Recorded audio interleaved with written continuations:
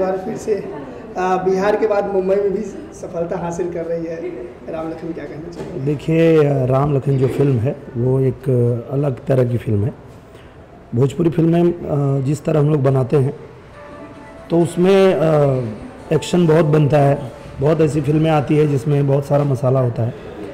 पर मेरा ऐसा मानना है कि ऐसी फ़िल्में भी बननी चाहिए, जो पारिवारिक फ़िल्में हों और पारिवारिक संबंधों को लेकर हो। ताकि जो हमारे यूपी बिहार के लोग हैं, जो परिवार में विश्वास रखते हैं, जो रिश्तों में विश्वास रखते हैं, वो लोग इससे पसंद करें। तो आज ये फ़िल्म जिस तरह से लोग देख रहे हैं, जैसे वो लोग लाइक कर रहे हैं, और जिस तरह की फ़िल्मों की कमी रहती है, वो पूरी किया है राम लखन ने। और इसके लिए मैं अपने छोटे भाई को धन्यवाद देना चाहूँगा, प्रवेश लाल यादव, जिन्होंने ये फ़िल्म बनाई और हिम्मत दिखाया कि जहाँ इतनी एक्शन और मसाला फ़िल्में चलती है वहाँ पे प्रवेश ने इतनी हिम्मत दिखाई कि नहीं हम लोग फैमिली फ़िल्म बनाएँगे।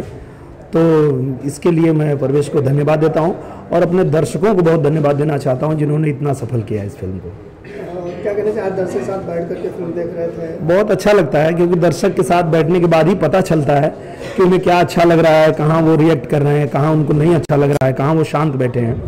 तो जब दर्शक के साथ बैठते हैं और कोई सीन चल रहा हो जिसमें हम खुद ही रो रहे हैं और हम दर्शकों को देखते वो भी रो रहे हैं। तो आ, हमें मिलता है ऐसा जजमेंट कि हम जो सोच के ये सीन किए थे जो ये फ़िल्म किए थे वो कितना सही है और कितना सही नहीं है।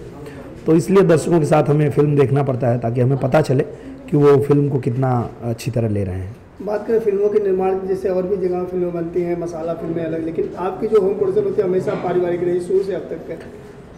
इसका एक कारण ये भी है कि हम व्यवसाय के लिए फ़िल्म नहीं बनाते। हम चाहते तो हम भी ऐसी एक्शन फ़िल्में बनाते, जो एक हफ़्ते में करोड़ों का बिज़नेस कर देती और बहुत सारा पैसा आ जाता।